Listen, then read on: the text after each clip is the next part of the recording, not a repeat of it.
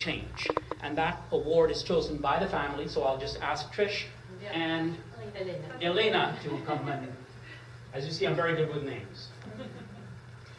Omar. Um, hi, uh, my name is Tricia Fink. I'm Miguel's uh, wife. I don't like that other word.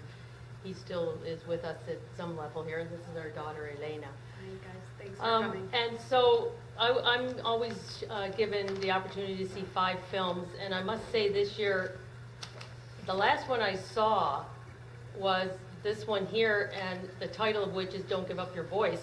And every single film, the women, and most of them were the women, the women, the GE plant, the um, women in New York, the women um, in Glasgow who won after 12 years, and the woman in Lesotho. I, it's like, whoa, talk about women and their their voice, and I just thought that was just wonderful. But all that, all those being said, I did choose this this last one here. Don't give up your voice. It just covered so. Um,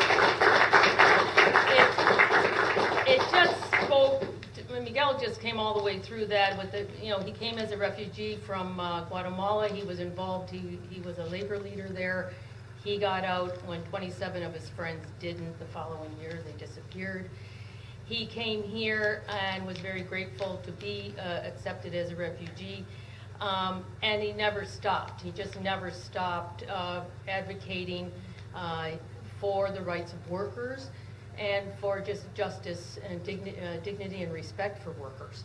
So all throughout that film, it's just so wonderful. You see all ages, all, I mean, obviously various identities, genders, whatever we want to call them now. Um, and celebrating life together. It was, I just found it um, exhilarating. And it's something that we should be putting on the CBC and, and all the way through because talk about a mass movement and a, a collective, the collective being the key word here, uh, a movement of peoples uh, that get get it done and allow life and dignity to continue, uh, life with dignity to continue for these people. It is so exhilarating. So I, I'm really happy to recommend that film this year.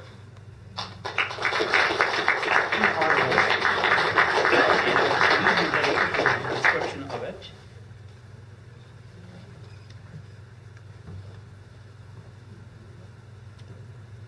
It recognizes a filmmaker, pardon me, from an equity-seeking group to help support these important voices in film. Women, non-binary, LGBTQ people, uh, persons of color, or Aboriginal filmmakers are eligible for this award. And the winner is. Can I have a drum roll? All right, we have a drum roll. Town of Widows.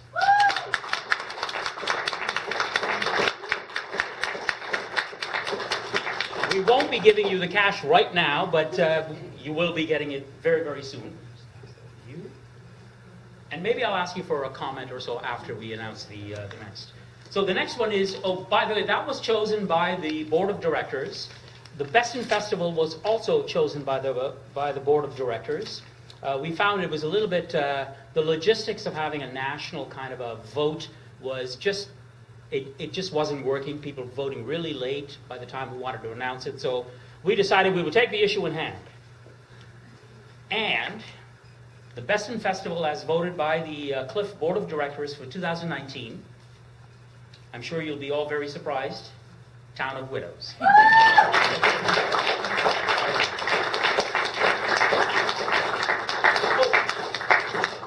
Can you give me one moment? I'm just going to read out the final award, which is the Best Canadian Film, Which you just chose. which you just chose and which I don't know the result of. Town of Widows.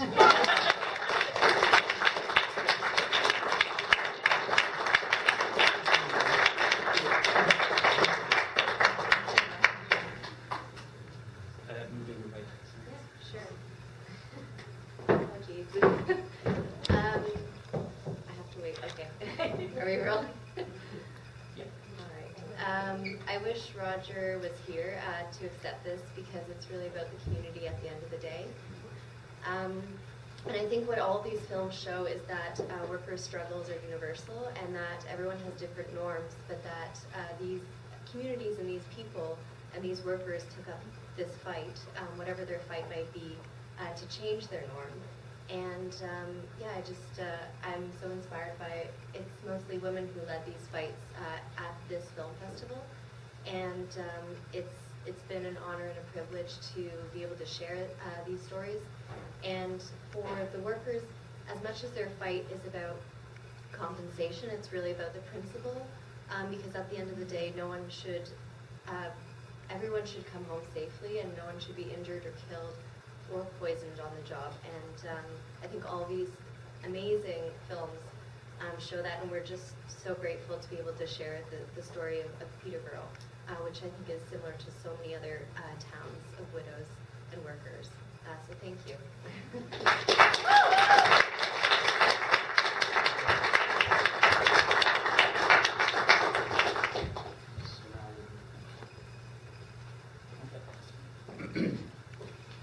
So just one final piece is uh, we've had a couple of people help out with the film festival for quite some years.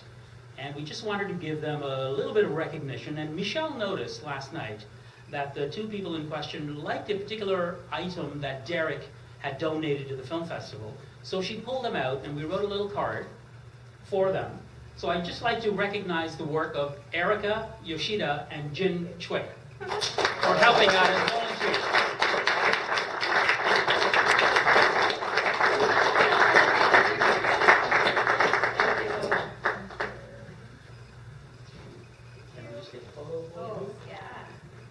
Because, you know, volunteers just never get recognized, so we just wanted to make sure that they were recognized.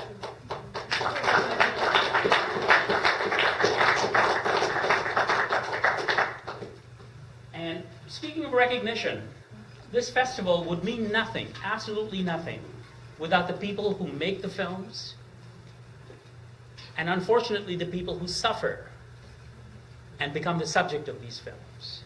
But let's also remember that there are people who take on the struggle and who win their struggles and who inspire others to enter into the struggle. And that's what inspires us. That's why we continue to show these films made by these amazing people about amazing people. That's what it's all about. The final thanks, of course, goes to our audiences. All of you who come here, you take your time out of a weekend to come here and share and join and discuss and hopefully even take the struggle further. So thank you all. Now, Now we have the final prize draws. So if you have raffle tickets, you should get them out.